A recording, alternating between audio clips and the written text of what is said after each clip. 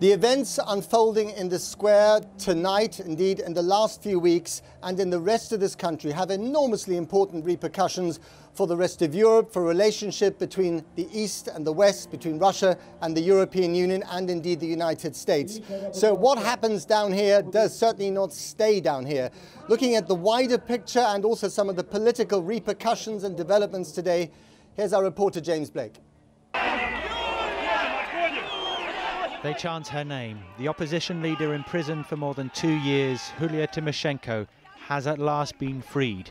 These images show the emotion of her release after a day of rapid and momentous change.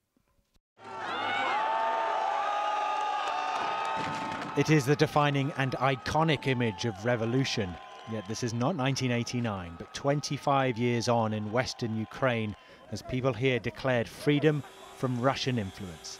They've always been closer to Europe in this part of the country. But it's not that easy. As protesters and opposition groups took control of government buildings in the capital today, the political manoeuvrings began. Inside Parliament, as they voted to release Mrs. Tymoshenko, her daughter was given a standing ovation and broke down in tears.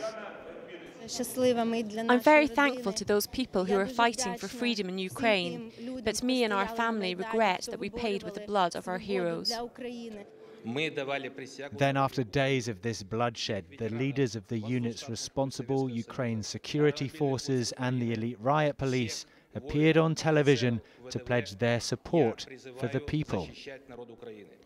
The Ukraine is now a country divided by region, the center of protest and nationalism in the west, in Khmelnytsky, where the statues were toppled, Lviv, which declared itself independent, the opposition groups now in control of Kiev.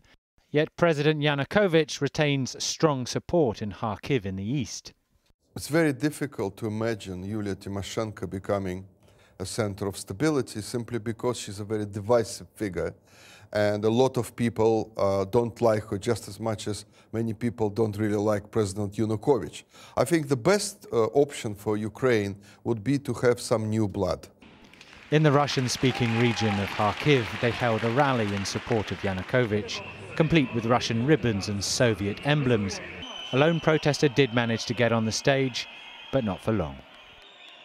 Back in Kiev, it's announced the president is to be impeached as yesterday's deal seems all but forgotten.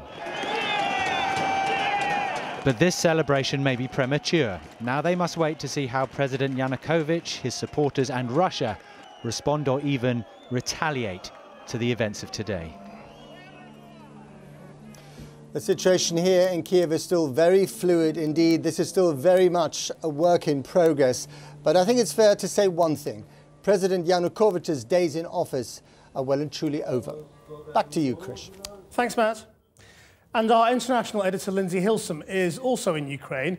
She's on her way from west to east, where she'll be reporting for us tomorrow. And she's written a blog, which you can read on our website, channel4.com slash news.